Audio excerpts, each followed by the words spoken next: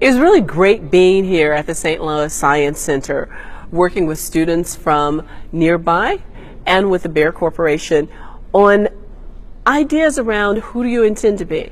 So I talked about uh, being in science fields and growing up really intending to look at exploration and creativity and having a life that included challenges and also making a difference in the world.